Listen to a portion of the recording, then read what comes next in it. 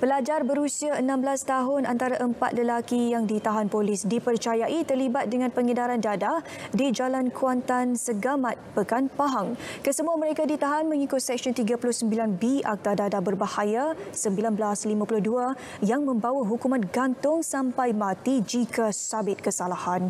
Timbalan Ketua Polis Pahang, Datuk Muhammad Yusri Hassan Basri berkata, 1.8 kg dadah jenis heroin dan 1.07 kg dadah dadah jenis syabu kesemuanya bernilai RM62,000 dirampas. Dua kenderaan disita termasuk wang tunai kesemuanya bernilai RM100,000. Mereka direman tujuh hari hingga esok. Sementara itu menerusi ops sarang khas 312 orang berusia 23 hingga 63 tahun ditahan setelah polis menggempur 8 sarang penagihan dadah. 144 orang daripadanya termasuk 7 wanita positif dadah. Keseluruhan rampasan pelbagai jenis dadah bernilai kira-kira RM15,000.